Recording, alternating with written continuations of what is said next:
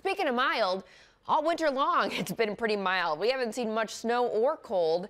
The 19 First Alert Weather Team, we're breaking down why winter's been so mild and what's to come for the rest of the season. Here's meteorologist Erika Page with details on why there's been a lack of snow so far this season.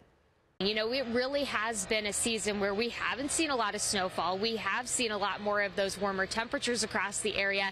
And a lot of it has to do with the weather pattern that we've been seeing here across northeast Ohio. So I want to bring out our reality graphics and really just show you where this pattern has set up to bring us more of this warmer weather. So if you take a look across the country as we bring it up, you'll see that we've had a lot of that colder air basically parked out to the west. It's all due to the jet stream. The jet jet stream has stayed farther to the west, dipping into the south, but then allowing all of that warm air to really bring us those warmer temperatures across northeast Ohio over the past couple of months. Yes, we've gotten a few shots of that colder air trying to mix in, but it hasn't been significant enough to bring us those prolonged days of really cold temperatures. And in fact, if you look behind me, you can see there's no ice coverage across Lake Erie as we're out here on Edgewater Beach. In fact, less than 1% as we were looking through through mid-February of the lake has been covered in ice. And that's likely going to be a story that continues for us if we don't get these more prolonged periods